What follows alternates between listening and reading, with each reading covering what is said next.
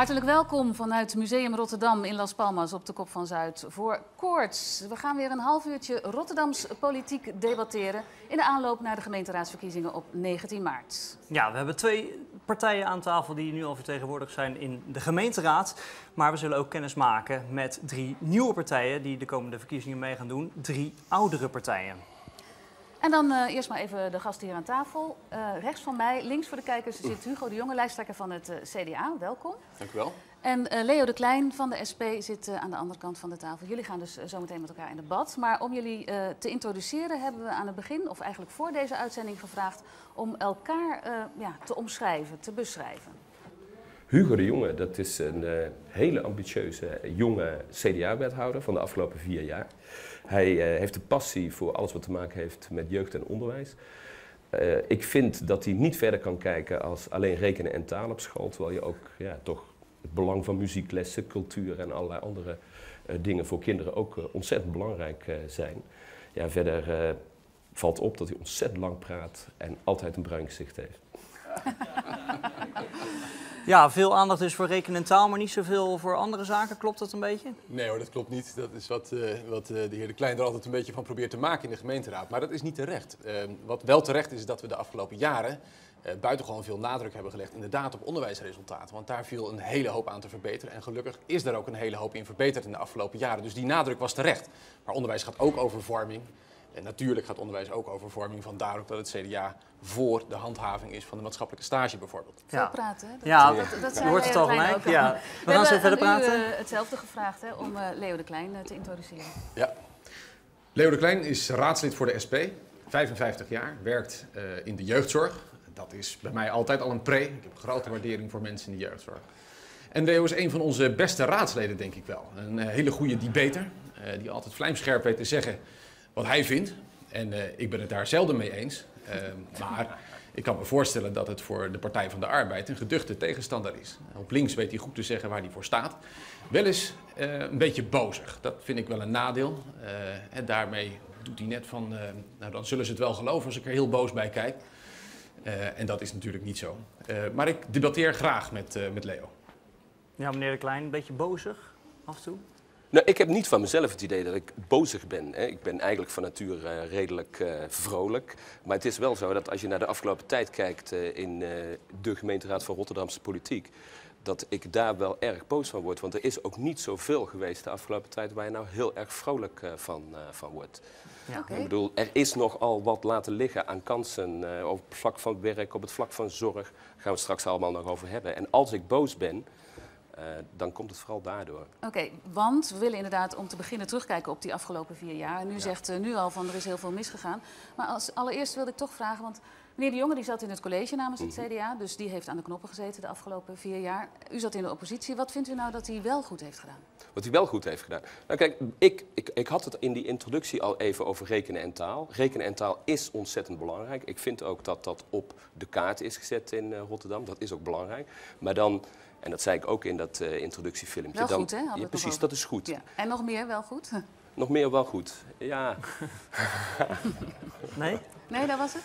Nou, ja, kijk, ook het, uh, het aantal uh, voortijdig schoolverlaters is naar beneden gegaan. Daar hebben we ons met z'n allen op ingezet. Dat vind ik erg belangrijk. Dat, uh, en zeker, ik denk eigenlijk als je gaat kijken naar de portefeuille die Hugo de afgelopen tijd heeft gehad, dat dat niet het grootste verschil is waar het CDA en de SP van elkaar verschillen. Dat zit veel meer op werk, op huisvesting. We kunnen ook concluderen, meneer de Jonge, dat u het misschien wel makkelijk heeft gehad. Want onderwijs staat buiten discussie, daar wordt niet op bezuinigd. Ook in alle verkiezingsprogramma's die, nu weer voorliggen, ja, staat het toch eigenlijk ja, redelijk veilig. Dat is waar. Hè. Natuurlijk, het is zo dat, dat heel veel partijen in de gemeenteraad uh, vinden onderwijs heel erg belangrijk. En onderwijs is natuurlijk ook ontzettend belangrijk voor de stad Rotterdam. Dat is waar. Tegelijkertijd, we hebben de investeringen die we de afgelopen jaren in onderwijs hebben gedaan, uh, hebben we moeten doen in een tijd dat er ruim 500 miljoen bezuinigd moest worden. Want daar komt veel van de uh, kritiek ook van de heer De Klein vandaan. Uh, er mag nergens op bezuinigd worden. Maar ja, een begroting moet natuurlijk wel op orde worden gebracht. En als er gewoon veel minder geld te besteden is, meer geld dan er binnenkomt, kun je niet uitgeven. Dat werkt net als thuis. Uh, en ondanks dat is het toch gelukt om extra te investeren maar in dit, onderwijs. Dit, ik vind dat een beetje een verkeerd beeld. Hè. Dat wordt wel vaker van, van de rechterkant vooral, maar ook van de Partij van de Arbeid naar de SP toe in die richting neergezet. dat wij niks willen bezuinigen en dat we eh, geen verstand van financiën of van, uh, van rekenen hebben. Maar dat is natuurlijk belachelijk. Kijk, wij zijn, ik heb alle programma's doorgelezen. Volgens mij zijn we een van de weinige partijen die een financiële paragraaf heeft. En natuurlijk willen we wel bezuinigen, maar we maken daarin strikte keuzes. En die keuzes zijn er eigenlijk op gebaseerd dat wij zeggen, we maken sociale keuzes. En dat betekent dat in deze stad ook de sterkste schouders, dus de mensen die het op dit moment het beste hebben, ook de zwaarste lasten moeten, moeten Is dat ook het grootste verwijt van uw, uh, van uw partij richting het CDA in dit college? Dat dat is vergeten de afgelopen jaren? Ja, dat denk ik wel. Ja. Kijk, er is ingezet op onderwijs, zijn we het helemaal mee eens. Uh, er is ook massaal ingezet uh, op bijvoorbeeld de binnenstad, waarvan ik zeg van nou, de, in de wijken zijn vervolgens uh, vergeten. Maar vooral het hele sociale element, zorg, werkgelegenheid, inkomen voor de laagste inkomens, hè, de armoede in de stad. Dat is wat dit college uh, in belangrijkheid heeft laten zitten. Aan? Nee, want juist door te investeren in onderwijs, juist door ervoor te zorgen dat er minder jongeren zonder een diploma van school gaan, juist daardoor investeer je in een stad met meer sterke schouders. En dat is juist wat deze stad nodig heeft. Deze stad moet sterker worden. En daarover verschillen wij van mening over hoe je dat zou moeten doen. Ja, maar, maar dit kunt, kunt, u niet met mij oneens sorry, zijn. Maar je kunt niet zeggen tegen mensen van... kijk, uh, u heeft nu armoede, u zit dik in de schulden... u kunt bij wijze van spreken de huur niet meer betalen... de zorgtoeslag niet meer betalen. Maar wacht maar tot straks over 20 jaar uw kinderen uh, groot zijn geworden. Want dan hebben wij ervoor gezorgd dat over 20 jaar alles goed is gekomen. Maar dat is Tuurlijk moet je investeren niet, in onderwijs, maar wat je dat moet is doen ook niet is wat het CDA zorgen... zegt natuurlijk. He, wat het CDA zegt is natuurlijk dat er ook een barmhartig en ruimhartig armoedebeleid moet zijn. Maar de echte investering dan- in een sterkere stad, Maar waarom die doe je bijvoorbeeld door de investeringen in het onderwijs. En die doe je bijvoorbeeld door te kiezen voor, voor wijken die beter in balans zijn. Wijken waar meer gezinswoningen worden gebouwd dan nu. Ik denk dat we op dat punt ook fors van elkaar eh, verschillen van opvatting. Mag ik dan u iets anders vragen? Want eh, meneer De Jonge heeft nu gezegd wat hij vond dat er niet goed is gegaan. Als u nou kijkt naar die afgelopen vier jaar, heeft u dan ook ergens, ja, baalt u dan ergens van? Waar, waar had u eh, meer willen uithalen? Ja.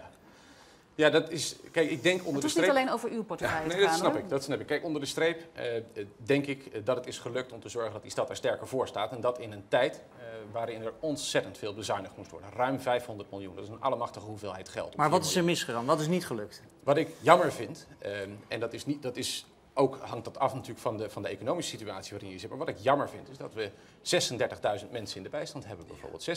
36.000 die mensen die langs de kant staan, afhankelijk zijn van een uitkering. En eh, wat ik vind, is dat we er alles aan moeten doen om dat terug te dringen. Maar dat is toch raar. We hebben niet alleen maar 36.000 mensen in de bijstand. We hebben ook nog eens een keer 18.000 mensen die werkloos zijn en eh, bij het UWV zitten. Zeker. En dus die werkloosheid is nog groter. Nu hoor ik Hamid Karkoes van de Partij van de Arbeid een banenplan presenteren. Ik hoor nu het CDA zeggen van we moeten daar wat aan gaan doen. Jullie hebben vier jaar aan de knoppen gezeten. Waarom heb je dan niets gedaan in de afgelopen vier jaar? Dat is toch ook waar het over gaat. Ja. Z- Zullen we even een time-out Ja. nemen? Want het is een interessant onderwerp. We praten er uitgebreid over verder, maar we gaan eerst even naar onze stelling. Ja, want we hebben eh, namelijk een onderzoek gedaan samen met het Eén Vandaag Opiniepanel. Hebben we 600 mensen in eh, Rotterdam ondervraagd. En dat gaat inderdaad over werk, over een uitkering. Kijk maar even mee. Voor wat hoort wat. Rotterdam zet mensen in de bijstand aan het werk bij bijvoorbeeld de Rotep. Het idee daarachter, de werkzoekende houdt een dagbesteding, gaat misschien net iets harder op zoek naar ander werk en de gemeentelijke klus wordt geklaard. Bekend is ook het kassenproject. Honderden werklozen werden de Westlandse kas ingestuurd voor een baan. Geen interesse betekende einde of minder uitkering. Het werd, ehm, laten we zeggen, geen doorslaand succes. Slechts in een enkel geval werd het een match tussen tuinder en werkzoekende. De stelling die we hebben voorgelegd aan het opiniepanel van één Vandaag. De gemeente mag mensen met een bijstandsuitkering verplichten te werken zonder extra vergoeding. De Rotterdammers zijn er duidelijk over verdeeld. 46% zegt ja, 48% is het er niet mee eens. Ja, er zijn een paar mensen die hebben geen mening. Nee. Dat klopt. U kunt goed Rekenen ja. Ik dacht al wat te missen. Oké, maar ehm, eh, eigenlijk zegt dus eh, de meerderheid van de mensen die wel een mening hebben... dat ze dat niet nodig vinden, hè? dat er een, eh, een tegenprestatie wordt verwacht voor die uitkering. Ja, daar ben ik het dan niet mee eens Nee. met die mensen. Hè? Want ik vind namelijk dat het volkomen normaal is dat je van mensen die een uitkering hebben, dat je daarvan vraagt om iets daarvoor terug te doen. En daarnaast is het ook gewoon goed voor mensen zelf. Ze, ze komen nog eens ergens, ze doen werkervaring op, ze doen sociale contacten op. Ik geloof dat het heel belangrijk is eh, om die tegenprestatie inderdaad te vragen. En in hoever kan je dan gaan als gemeente? Wat, wat mag je dan? Mag je dwingen, mensen dwingen? Ja, natuurlijk. Dus als er een uitkering wordt verstrekt, hè, iedereen die iets kan, en heel veel mensen kunnen iets, en kunnen iets waardevols ook voor de samenleving terugdoen, van die mensen mag je natuurlijk iets terugvragen. En anders voor, geen eh, uitkering. Inderdaad, anders kan daarop gekort worden. Dat lijkt me logisch. Ja, wat vindt u daarvan, meneer De Klein? Ja, kijk, de, de bijstand is, is een vangnet. En die is bedoeld voor mensen die tijdelijk of voor langere tijd geen andere bron van eh, inkomen hebben. Die hele discussie over die tegenprestatie van eh, staatssecretaris eh, Kleinsma, die is eigenlijk in Rotterdam begonnen. Hè. Met die tegenprestatie is Rotterdam al, al eerder begonnen als dat het eh, eh, landelijk eh, moest. Maar het hoeft En nog het- steeds niet. En het hoeft eigenlijk, ja, het, het moet straks wel, alleen mag je zelf als gemeente invullen waar het, hoe, je dat, hoe je dat doet. En het gekke is, daar zitten twee grote bezwaren aan. En de eerste is dat het werk, echt werk, hè, gewoon werk, waar je normaal voor betaald wordt, verdringt. Dat zien we ook in Rotterdam. En mensen die bij wijze van spreken eerst in de thuiszorg werkten, daar ontslagen zijn en vervolgens in een uitkering en op hetzelfde, hetzelfde werk moeten gaan doen, maar dan voor een uitkering. Dat is natuurlijk absurd. Dat je werk hebt, dat wordt verdrongen en dan moet je het vervolgens voor minder gaan doen. Het grote nadeel daarvan is dat ook het minimumloon, het recht op het minimumloon en voor normaal eh, betaling voor werk, dat dat ondermijnd wordt. En ik kan me heel goed voorstellen eh, dat mensen daar eh, het, zeg maar, in meerderheid van zeggen, ja, dat gaat ons veel te ver. Verdringing is dan het woord hè, dat je erbij eh, hoort. Nee hoor, kijk, verdringing, daar moet natuurlijk nooit sprake van zijn. Dus als dat wel zo is, dan is dat geen geschikte tegenprestatie. Hè? Dus als bijvoorbeeld een bedrijf zegt ehm, eh, van ik, ik zou wel goedkope schoonmaakkrachten willen, eh, willen hebben, eh, dan is dat natuurlijk geen tegenprestatie voor een uitkering. Als een voetbalvereniging zegt ik zou het wel kunnen gebruiken dat er een aantal vrijwilligers bij ons de kantine schoonmaakt, dan is dat een hele prima tegenprestatie, denk ik, in de uitkering. Dus daar gaat het om Ja, de dat praktijk je, is, dat je van mensen vraagt, want dat is gewoon normaal, dat je van mensen vraagt, als je in die uitkeringssituatie zit, die inderdaad zo kort mogelijk moet duren, als je in die uitkeringssituatie zit, de samenleving zorgt dat dat vangnet er is, ehm, eh, maar wij willen natuurlijk niet dat dat een hangmat wordt, hè, dus dan doe je iets terug voor die uitkering. Dat is normaal. Kijk, de praktijk is dat precies dat soort verdringing wel gebeurt. In de thuiszorg. Ik, ik, ben, ik heb zelfs al van mensen gehoord die moesten asbest gaan verwijderen hè, voor hun uitkering. Dat is In toch Rotterdam absurd? is dat gebeurd? In Rotterdam, ja. Ja. Gewoon dat soort rare dingen. En als je het dan hebt over de voetbalvereniging, allerlei vrijwilligerswerk. Er is onderzoek gedaan en als je gaat kijken naar die groep van mensen in de bijstand, 75% van die mensen doet al vrijwilligerswerk. Waarom, waarom moet je die op zo'n negatieve manier, waarom moet je die op zo'n negatieve manier dwingen, in een hoek zetten, eh, op straf van de uitkering? Dat slaat toch nergens maar op? u moet het je moet op die manier mensen, bekijken. Het je moet mensen goed voor mensen vrijwilligerswerk laten doen waar ze in geïnteresseerd zijn, wat ze leuk vinden, of mantelzorg enzovoort. Maar niet dus te dwingen en te zeggen van als je niet dat gaat doen, Maar als je niet, als je niet de wc gaat schoonmaken in, in mijn vereniging, Het merendeel Heel van de mensen... Dan- dan ben je je wat, uitkering eh, kwijt. Het merendeel van de mensen geeft aan dat ze zich er juist door geholpen voelen. Dat ze het juist nee. fijn vinden om waardevolle dingen terug te doen voor de samenleving. waar haal je dat vandaan? En dat ik een vind- merendeel dat zegt. Dat is de ervaring van de mensen die daar al lang mee bezig zijn. Er zijn 5000 mensen die doen al lang die tegenprestatie voor een uitkering. Ik ben er trots op dat Rotterdam inderdaad een van de eerste steden was die daarmee is begonnen.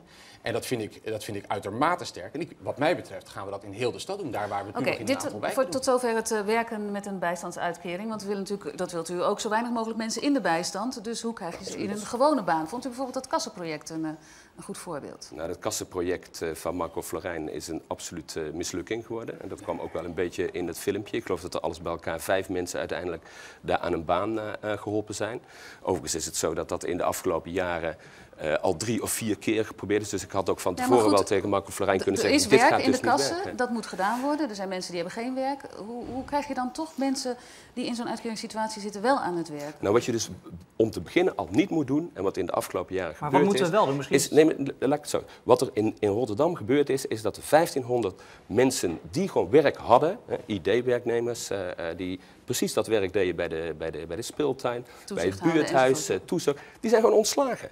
Wat wij zeggen, voer dat weer opnieuw in. En zorg ervoor dat je een belangrijk gedeelte van het geld wat op dit moment in de bijstand eh, omgaat, dat je dat kunt gebruiken om mensen nuttig werk voor de stad te laten doen. Ja, maar wat- maar dat wat- willen ook ze dan, niet. ook dan is dat natuurlijk geen, geen echte baan. Hè. Dus, dus Tuurlijk alles is het een maar aan echte baan. gesubsidieerd werk, zeg maar. Dat is natuurlijk geen oplossing voor het probleem het van, wel iets meer van de werkloosheid. Ja.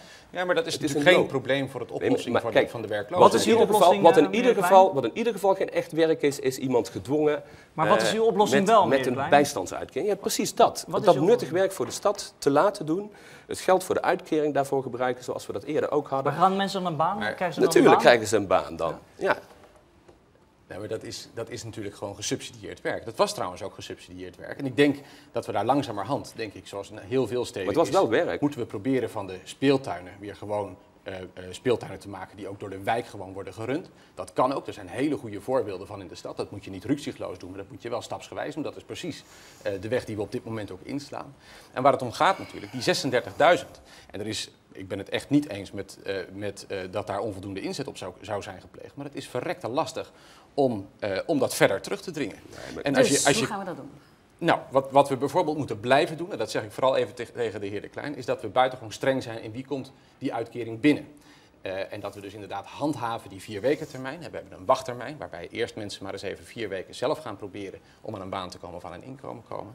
Daar moeten we mee doorgaan. Dus streng aan de poort. Zorgen dat mensen niet zomaar die uitkering binnenkomen. Maar dan hebben ze nog geen werk. Twee is zorgen dan dat hebben mensen ze geen geld net, en geen ze werk. moeten me even uit laten praten. Zorg dat banen mensen komen, hè? Dat is ja. Exact. Maar banen, meneer De Klein denkt dat we een soort banenmachine Nee, nee, nee. hebben op het stadhuis, waar banen worden gemaakt door werkgevers. Diezelfde werkgevers waar de heer De Klein in zijn verkiezingsprogramma eindeloze lasten wil Kijk. opstapelen, waardoor er minder werk komt. Tot dat is meneer De precies Klein. wat we niet moeten doen. Dus we moeten werkgevers de ruimte geven om die banen te creëren. Ja, meneer De Klein, tot slot dit onderwerp. Je kunt mensen beter tegen een normaal loon aan het eh, nuttig werk voor de stad laten doen. Hè, voor hetzelfde geld. Maar dan hebben ze een normaal loon. En Ja, dan, maar dat punt heeft u gemaakt. Hoe, Precies. gaan, hoe gaan we die banen verder, eh, verder, verder creëren? Je moet het nu ook betalen.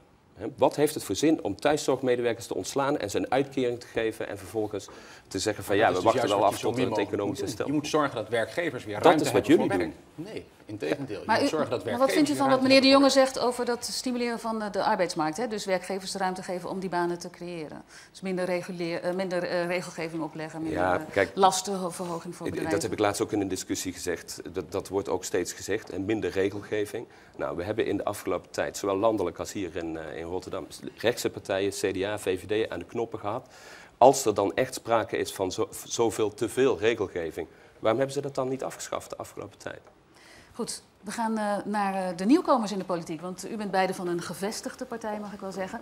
Maar er zijn ook eh, negen partijen die staan te trappelen om ook mee te gaan doen in die Rotterdamse gemeenteraad. En daar kunt u dus ook op stemmen op eh, 19 maart. En drie daarvan worden nu aan u voorgesteld.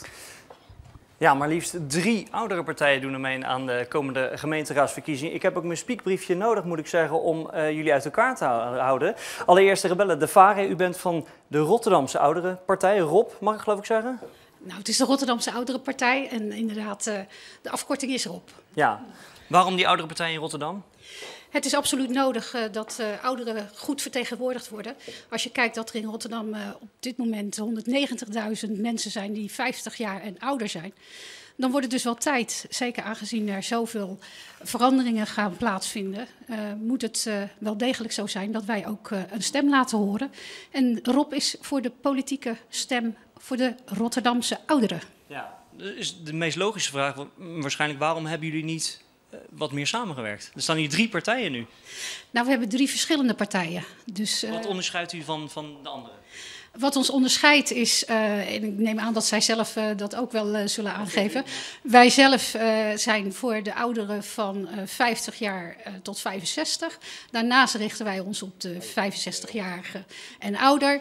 Dus dat is een, een breed spectrum, om het maar zo te zeggen. Eh, als wij kijken naar de Rotterdamse Ouderenpartij, dan is dat een iets andere invulling die wij dan geven. Als eh, bijvoorbeeld inderdaad de eh, OPA. Eh, de OPA die geeft aan dat zij een beweging zijn. En als je dan gaat kijken naar de seniorenpartij. De seniorenpartij die is vooral gericht op de ouderen. Senioren. Dus het is heel duidelijk. Er zijn drie verschillende partijen. Ja. En drie verschillende manieren hoe wij op een gegeven moment omgaan met ons partijprogramma ook. Ja, ik geloof niet dat iedereen het helemaal snapt hier wat het verschil is. Eh Helmich Richter, u bent van OPA. Ja, dat, Dat is een klopt. logische naam hè, voor een oudere Wel een partij. logische naam, maar ik wil toch onmiddellijk weer zeggen dat wij geen oudere partij zijn. Telkens word ik weer geconfronteerd met het feit, de naam OPA zal wel een oudere partij zijn. Noem ons in het vervolg drie generatiepartijen. Want wij zijn er van af het jongste kind totdat de oudere in een verzorgingstehuis terechtkomt. Ja. Dus geen oudere partij Maar waar meer. staat u voor? Wij, wij staan er dus voor dat er in elk geval in een goed onderwijs gebeurt. Daar beginnen we mee. Dan krijgen we dus een deel werkeloosheid wat opgelost moet worden. En daarna een verzorging om het in drie punten te, neer te zetten voor de ouderen die een gelukkig en gezond toekomst en leven nog moeten hebben. Dus toch die ouderen. Altijd moet je zorgen voor die ouderen, want ook die jongeren wordt een keer oud. Hè, opa begint met zijn kleinkind en dan wordt hij vader en uiteindelijk wordt hij opa. Dus we zorgen voor alle Rotterdammers. Ja.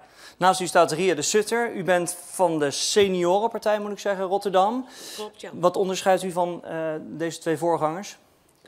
Wat ons onderscheidt is dus dat wij zijn voor de senioren. En senioren begint tegenwoordig ook al bij 50, Ook al? 55. Ja, uiteraard.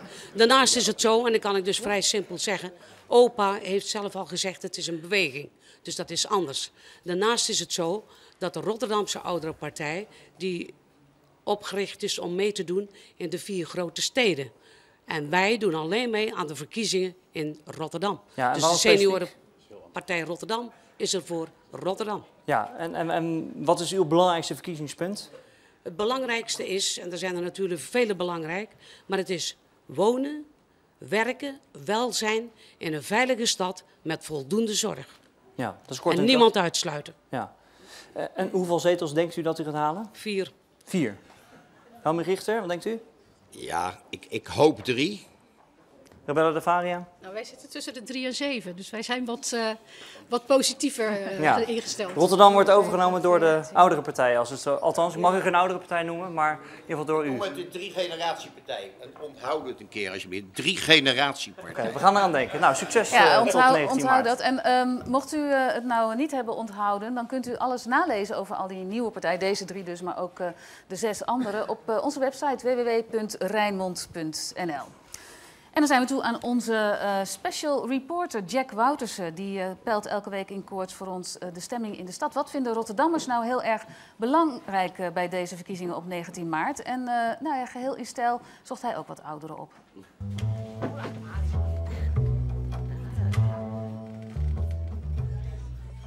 Maar zitten jullie normaal altijd, of zit je overal een beetje? Ja, Niet een vaste plek, hè? andere culturen die zitten vaak in die hoek zo'n beetje. Die hoek. Ja, een beetje ja, vast ja. hoekje. Maar dan mogen wij ook zitten hoor, daar gaat hij om. Nou, zullen we eens even kijken, dan beginnen we daar. Ik zie daar een paar mannetjes. En dan gaat u hier zitten als een soort... Zitten, ja. Een paar uurtjes zitten. En, wa- en wat praat u dan over?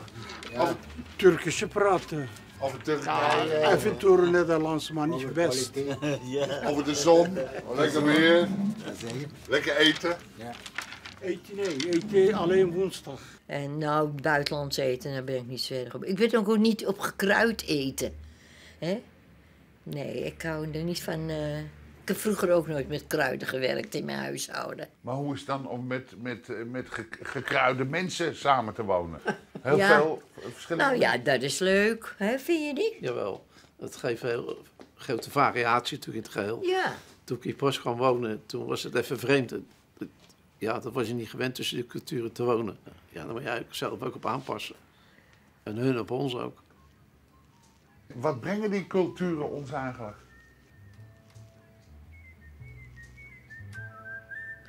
Ja, mij eigenlijk niet veel, hè? Muziek? Hoort u wel een, goede muziek? Ja. Hè, Yes-muziek. Ja, heerlijk. Maar ik heb zelf altijd piano gespeeld, hoor. En eh, altijd eh, yes. Ik hou niet van klassieke muziek. Nog niet. Oké, dat kan nog komen. Nee, ik geloof het niet. Missen jullie Turkije? Ja. Maar waar- waarom blijft u hier dan? Waarom gaat u niet die oude kinderen, dag? kinderen. Kinderen. Kleinkinderen. Ja. Hun zeggen, eh, opa, niet weg. Blijf bij, bij ons. Ja. Daarom, wij blijven hier. Dat is logisch. Ik ben 50 jaar hier. 50 jaar.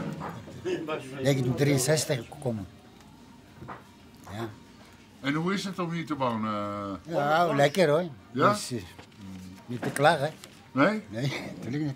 Behalve het weer. Het is veel te koud. Alleen wel weer hè. Ja. Ja.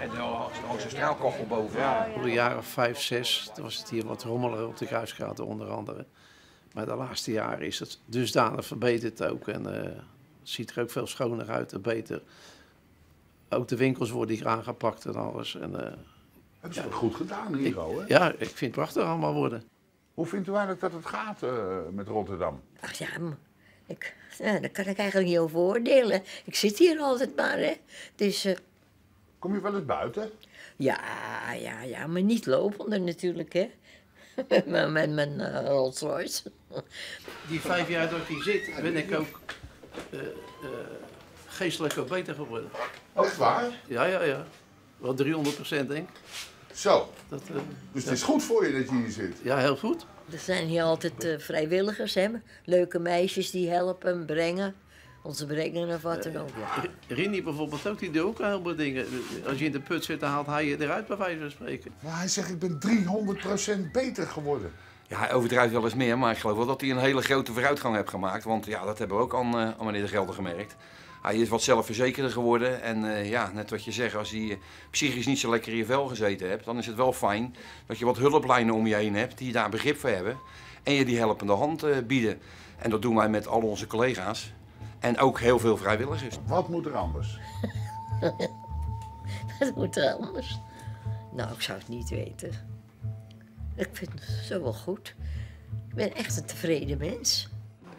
Ja, reacties vanuit eh, Verzorgingshuis Leeuwenhoek in het eh, Oude Westen, wel bekend eh, waarschijnlijk. Meneer De Klein, een, een multicultureel verzorgingshuis midden in het centrum van Rotterdam. Ehm, integratie, is dat eigenlijk nog een, nog een onderwerp dat, dat op de agenda staat, politiek? Want daar horen we eigenlijk niet zoveel over. Hè? Ja, ik, ik vind het een belangrijk onderwerp. Het is nog steeds zo dat lang niet iedereen eh, mee kan als het gaat om, eh, om Nederlandse taal. Dat vind ik belangrijk. Het is ook nog steeds niet zo dat eh, de scholen eh, gemengd zijn. Hè? Dat, dat je geen sprake meer is van witte en zwarte scholen. En dat vind ik wel heel belangrijk eh, dat we daar stappen in eh, vooruit zetten. Dus ik vind het een eh, thema. Overigens in de Leeuwenhoek... eh, eh, dat is dus precies een voorbeeld waar dat ontzettend goed gaat. Kun je ook eh, zien ja. aan, het, eh, aan het filmpje. Eh, ik, ik ben daar twee weken geleden nog eh, geweest met de SP ook. En eh, ja, dat is echt iets. zo, zo zou het ook verder moeten kunnen blijven. Hoewel het Ook in het onderwijs bedoelt u? Of? nou, dat, dat verzorgingshuis, de Leeuwenhoek, gewoon het bejaardenhuis, dat, dat is een, een voorbeeld van hoe het kan, midden in de wijk, met z'n allen samen, hè, met verschillende culturen. Alleen, wat je wel merkt, is dat mensen er ook heel veel zorgen over hebben. Want wat er ook aan de hand is, is dat daar flink het mes in gezet eh, eh, gaat worden. En dat nu al allerlei activiteiten die er gebeuren met, eh, met de oude mensen daar, eh, ja, dat die eigenlijk nauwelijks niet meer mogelijk zijn. Ja.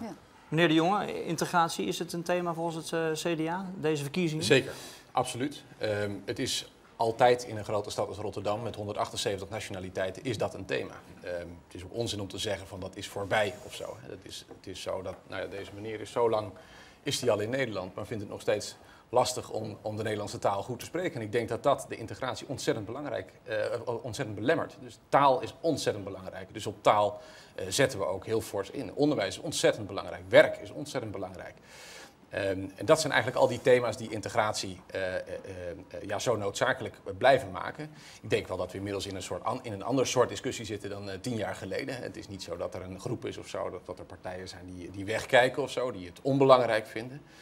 Maar het is zo dat integratie zeer belangrijk is. Overigens, Ja. over die zorg, ik denk dat we dat punt wel delen.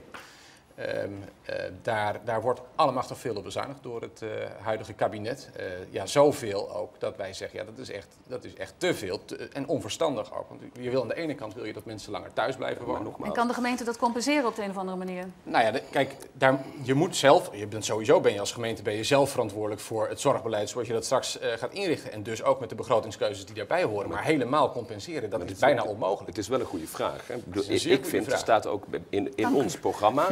Nee, maar staat ook eens in ons, het, staat, het staat ook letterlijk zo in ons programma. Wij vinden ook, en ik zou het heel mooi vinden als het CDA dat ook zou zeggen, dat daar waar echt gaten ontstaan, en die staan er nu al. Hè? Want jullie college heeft wel al 20% op de thuiszorg gesneden. Hè? Dat hebben jullie zelf gedaan. Hoefde niet eens van het kabinet, maar je hebt het wel gedaan. Daar ontstaan nu al grote gaten, waarvan ik zeg, waarvan de SP zegt, dat moeten we dus gaan compenseren. Want het betekent nu al dat mensen de zorg niet meer krijgen waar ze recht op hebben. Het CDA vindt dat als we, dat als, eh, even laten genieten van dit applaus.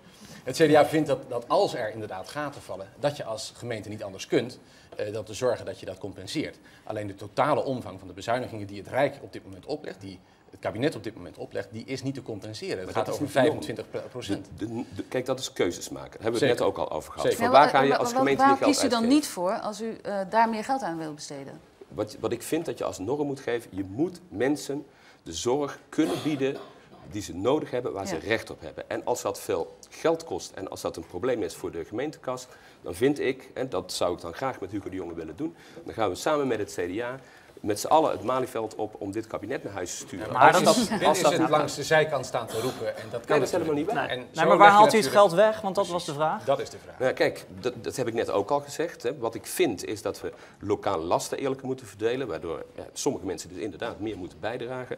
Eh, waar we echt veel geld eh, hebben laten zitten in de afgelopen jaar, is de afdracht van het havenbedrijf, die wel een torenhoge winst heeft gemaakt en die eigenlijk niet in de, in, in de stad heeft... Rotterdam eh, moet meer geld krijgen van de haven. En wat je natuurlijk... En, dus en wat dus in de de afgelopen tijd... doet. En De wat in de rekening afgelopen omhoog tijd... voor mensen die inderdaad een baan moet- hebben. De rekening omhoog voor bedrijven. Dat is wat de SP moet- doet. En dat is juist wat je niet moet doen als je meer werkgelegenheid wil en sterke schouders in de stad. Laat ik, laat, ik, laat ik een ander voorbeeld Kunt u het heel kort houden, want, geven. eh, 12 we zijn alweer bijna aan het En dat is de keuze van, van jullie college. 12 miljoen wordt er in, eh, de, in de binnenrotte, hè, de, waar de markt is, gewoon in een paar stenen. Om een paar stenen opnieuw in te leggen, 12 miljoen besteed je U bedoelt een markthal? Is, precies. Nee, dat is niet de markthal.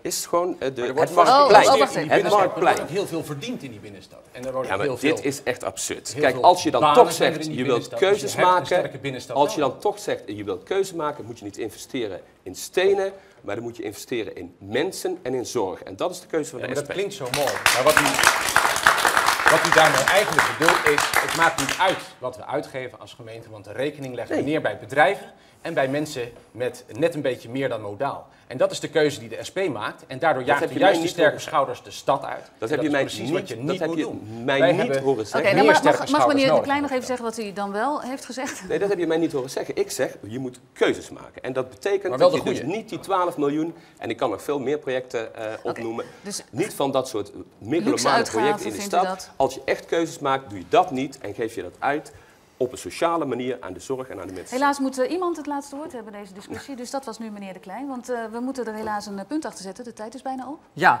meneer De Klein, eh, Emiel Roemer uit Den Haag, uw voorman, eh, die was laatst eh, in, in Rotterdam. Die heeft de Ja. druk nogal opgevoerd, want volgens mij heeft hij behoorlijk wat zetels voorspeld hè, voor jullie partij. Gaat dat lukken eigenlijk? Nou, ik heb er eh, heel erg goede hoop op. Hè. We zijn Hoeveel eigenlijk nog zetels? maar net. Wat is eh, ik, eh, ik heb, hebben er nu en aan, twee, het begin, aan het begin van de campagne heb ik geroepen van als je kijkt naar het potentieel aantal mensen wat op de SP zou kunnen stemmen, kom je op negen zetels. Negen zetels. Die En hebben we alles gehaald, zoveel stemmen.